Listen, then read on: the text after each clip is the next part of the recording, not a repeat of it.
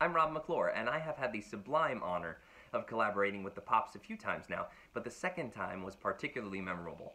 Steve Reineke asked me to sing You're Never Fully Dressed Without a Smile from Annie at Carnegie Hall with a group of very special kids from the Ronald McDonald House.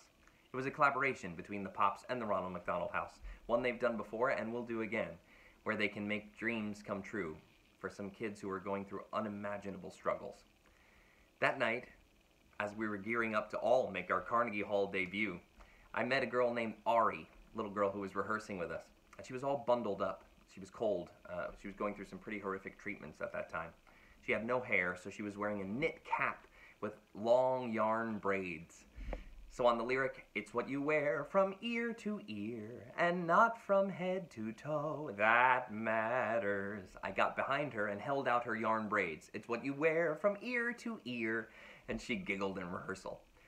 That night, we had our places call, and Ari walked out in a ball gown, still wearing her little yarn cap with her long yarn braids. And I said, You kept your hat on. And she said, Yeah, we came up with a funny bit. I thought we should keep it. So we did.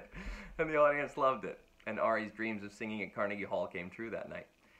I kept in touch with her and her family, and they actually came and saw me in five or six more shows around the country before Ari sadly passed. But I still keep in touch with her family and her mother, who tell me that that night was one of the most special nights of her life, and the Pops made that dream come true. The work that the Pops do is unmatched, and I'm proud to collaborate with them. If you want to find out how you can help, go to newyorkpops.org slash relief. Thanks.